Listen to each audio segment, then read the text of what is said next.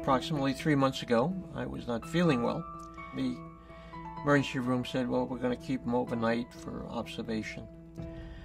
Uh, my wife went home. About two hours later, I flatlined.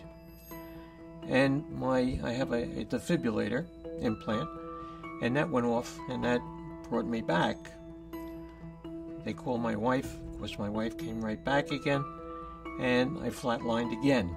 They then were able to stabilize me and send me right to NYU. Heart failure is a very broad term, um, and it's used to classify a lot of different disease states. But it really is um, an end stage of multiple diseases. It could be an end stage of coronary disease, an end stage of valve disease. But essentially, the thing that links them all together is the inability of the heart to provide the nourishment that the body needs. If the insult to the heart, be it from a heart valve or from not getting enough blood to the heart, uh, continues, the heart can become damaged and the syndrome will progress. And uh, the heart can get damaged to progress to the point where it doesn't reverse.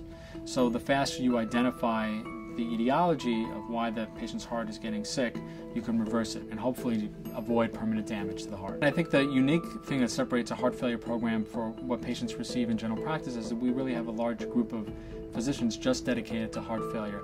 Physicians, surgeons, nurse practitioners, and we're all focused around this sort of complicated patient. Like any treatment, the treatment is good for some patients and is not as good for others. So we do evaluate the patients extensively. A big part of our evaluation process is to identify what is going to benefit that individual most. And the advantage at NYU Langone is we have all the diagnostic tools that you might need, be that invasive procedures such as cardiac catheterization or imaging with the latest in cardiac MR. We have that available to us.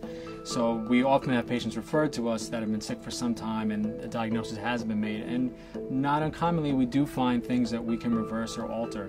The patients are very sick when they come to us and they require a lot of care and a lot of support. It takes a team to do that. Whatever information they had, it was given to me.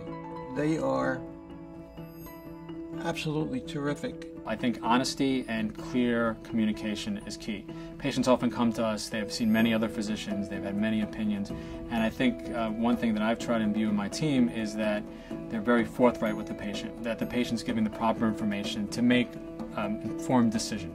I think without having all the information, you can't do that. Both from our patient's standpoint, when they're in the hospital and when they come back for visits and what happens at home, family is important, both as a medical family and on the personal side.